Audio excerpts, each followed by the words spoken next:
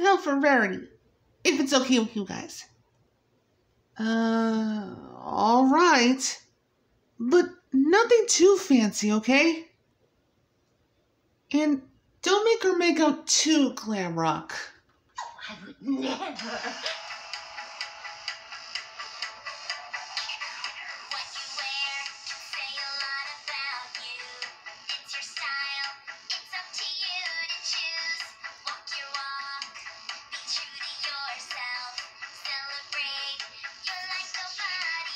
you